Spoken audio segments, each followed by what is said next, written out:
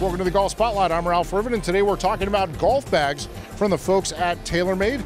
People already hitting TaylorMade clubs, probably looking for a bag to match, and uh, we got to talk to Casey Duryee, who is a product line manager for TaylorMade Accessories. Casey, thanks for taking the time to join us. Thank you. Thanks for coming out. You have new golf bags for 2017 that are basically you have three different stand bags. I want to focus on those because they've got some really cool technology in them. Correct. Yeah, we have three new stand bags for 2017: our FlexTech Lite, FlexTech, and FlexTech Crossover. Uh, the main thing we've really done with our bags this year for 2017 has been our durability and performance.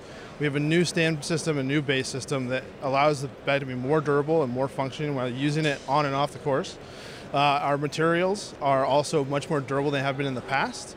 We've gone from a 75 denier ripstop to a 300 denier uh, poly. Really, what that means is we've gone from a 75 width of uh, woven plastic to a 300 denier, which is a polyester, so quadrupling our thickness. Well, and that means the bag's going to, you know, you talked about the durability of the of the leg system.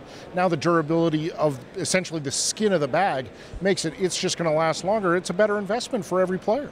Yeah, correct. I mean, you're spending money on a golf bag. You want it to last as long as your clubs, if not longer. And it's what carries and protects your golf clubs. So that's what really what we focused on this year. Well, and it starts with the FlexTech crossover because it really is a hybrid bag, individual slots for your, all your clubs, but still all that carry flexibility. Correct. It's a, it's got a 14-way top on it, so you can get all your clubs in individual spots to protect those. It's got 11 pockets, and it's it's designed to be a hybrid bag that carry you can walk with or put on a cart.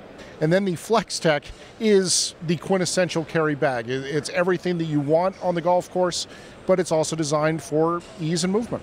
Correct. It's got five, it's got a five-way top. It has 11 pockets. It's our number one selling bag in the market.